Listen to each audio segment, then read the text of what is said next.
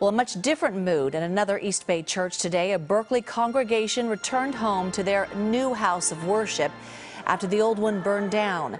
KPIX 5's Wilson Walker was there for the resurrection.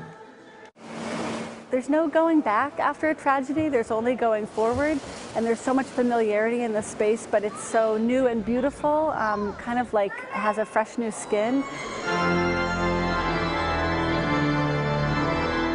Eight months after fire ripped through the First Congregational Church of Berkeley, the congregation marched back into the sanctuary and broke into song. So today is the feast day of Pentecost, and believe it or not, the main symbol of Pentecost in the Christian church is fire.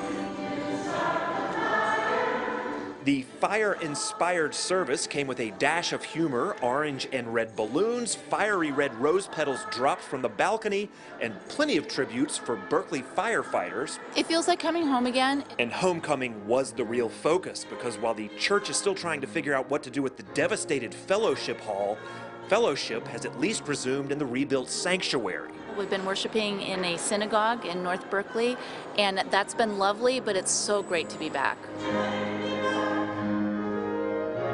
Well, it's this is home. Uh, this is where I met my wife, where I got married, where both my boys were baptized, and it means a lot to me. And I can't say uh, how much it just means a lot to be back home. So the flock returned home, shared hugs, tears, and communion, and reflected not so much on what was lost, but what has come with this new day. When there's no loss of life, we can take an occasion like this and sort of become unmoored from old habits and practices and do something entirely new. In Berkeley, Wilson Walker, KPIX 5.